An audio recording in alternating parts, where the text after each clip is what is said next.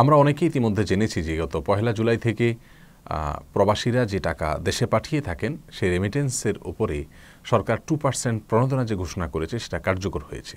অর্থাৎ একজন প্রবাসী প্রবাস থেকে যে টাকা পাঠান, সেই টাকা তার পাঠানো মূল টাকার সঙ্গে সরকার অতিরিক্ত আরও শতকরা দুই টাকা করে দিচ্ছেন। এই যে টাকা সরকার প্রণোদনা হিসাবে দিচ্ছেন প্রবাসীদেরকে রেমিটেন্সের উপরে, যারা ব্যাংক থেকে ব্যাংকে টাকা পাঠাবেন, তাদেরকে উৎসাহিত করবার জন্য, এটা গ্রহণ করা প্রবাসীদের জন্য অথবা প্রবাসীদের তরফ থেকে তাদের দেশে থাকা আত্মীয় স্বজনদের জন্য জায়জ আছে কিনা, এটা অনেকেই জানতে চান। এ বিষয়ে আমরা শুরুতেই বলতে চাই, আমরা ইতিমধ্যে অনেকে জেনেছি যে দুই হাজার উনিশ বিশ অর্থ বছরের বাজেট এর প্রস্তাব যখন পেশ করছিলেন মাননীয় অর্থমন্ত্রী সংসদে, তখন তিনি বলেছেন অত্যন্ত পরিষ্কার ভাষায় যে হুন্ডি এবং নানা রকমের অবৈধ উপায়ে প্রবাসীরা টাকা পাঠিয়ে থাকেন দেশে এবং সে সকল উপায়ে দেশে টাকা পাঠানোর ফলে দেশের অর্থনীতির জন্য সেটা ক্ষতিকর।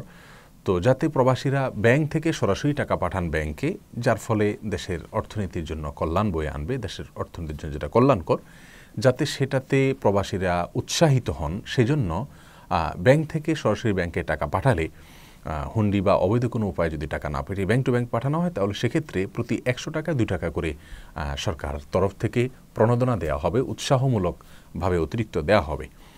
এই যে ঘোষণা দেওয়া হয়েছে, সেই ঘোষণা কার্যকর হয়েছে, এই ঘোষণা থেকে আমরা জানতে পারলাম যে সরকার মূলত রাষ্ট্রের যে কোষাগার, সেই কোষাগার থেকে জনগণকে তথা প্রবাসীদেরকে তাদের রেমিটেন্সের উপরে পাঠানো টাকার উপরে, ব্যাংকের মাধ্যমে পাঠানো টাকার উপরে অতিরিক্ত টু পার্সেন্ট করে দিচ্ছে।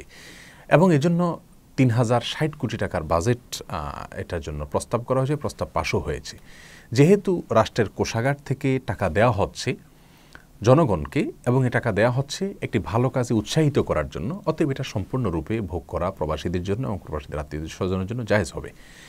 যেহেতু এই টাকা কোনো হারাম টাকা নয়, রাষ্ট্রের কোষাগারের টাকা আবার দ্বিতীয়ত হলো এই টাকাটা দেওয়া হচ্ছে কোনো অসৎ উদ্দেশ্য নয়, খারাপ কোনো পদ্ধতি নয়, এটা সুদও নয়, অথবা হারামের ভেতরে পড়ে এরকম কোনো পয়সাও নয়।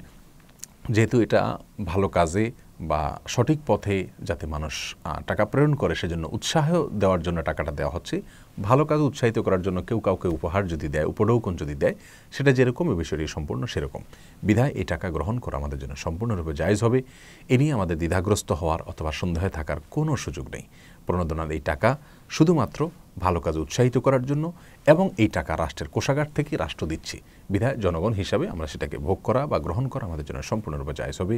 ওল্লাহ আলম বিসব